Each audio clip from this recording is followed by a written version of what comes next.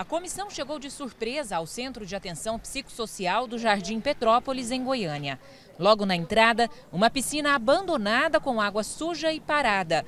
Ao redor, mato alto. É um criatório de mosquito da dengue e tantos outros mosquitos. Um matagal que tomou conta. Realmente parecendo casa de viúva abandonada. Isso não é uma casa, não é um CAPS para cuidar de pessoas que realmente precisam da ajuda da prefeitura.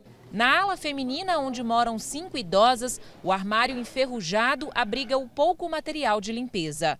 Muitos armários estão quebrados e na geladeira tem pouca comida. Tem carne? Tem, tem isso e faz, isso e faz. Ah, não tem carne todo dia? Não, não. Seis idosos moram na ala masculina. Ali tem vazamento, mato e sofá rasgado.